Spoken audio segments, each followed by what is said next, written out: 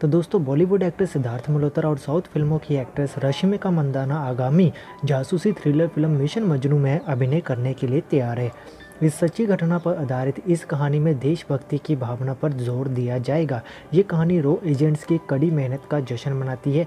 इस फ़िल्म में दिखाया जाएगा कि कैसे रो एजेंट्स दो देश के नागरिकों की रक्षा करते हैं। अभिनेत्री रश्मिका मंदाना इस फ़िल्म से बॉलीवुड में एंट्री मारने वाली है। रश्मिका की साउथ में काफ़ी फ़ैन फॉलोइंग है और उन्हें काफ़ी पसंद भी किया जाता है।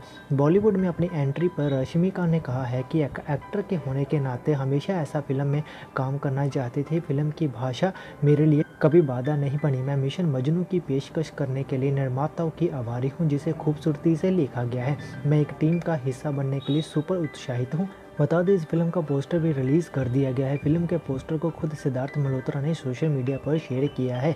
इन्होंने इसे शेयर पर करते हुए लिखा है कि ये सबसे खतरनाक ऑपरेशन की कहानी है, जिसे हमारी सुरक्षा एजेंसी ने अंजाम दिया। मिशन मजनू फ़िल्म के पोस्टर को रश्मिका मंदाना ने भी शेयर किया है। उन्होंने लिखा, आप सभी के लिए एक खबर है। मैं काफ़ी ज़्यादा उत्साहित हूँ इसका हिस्सा बनने के लिए। ये एक नई यात्रा की शुरुआत है।